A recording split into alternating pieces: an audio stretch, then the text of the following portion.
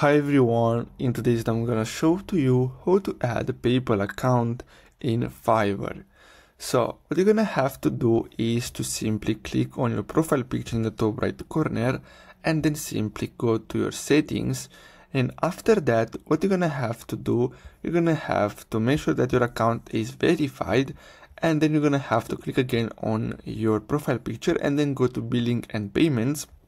then what you're gonna have to do is to simply go to payment methods and then here you're gonna have to click on add payment method and then select PayPal and basically you're gonna have to click on PayPal again and then you're gonna have to simply log into your PayPal account and basically that's how you can add PayPal on Fiverr account. So I really hope you found this video helpful. Don't forget to like and subscribe and I'll see you in the next video. Thanks for watching.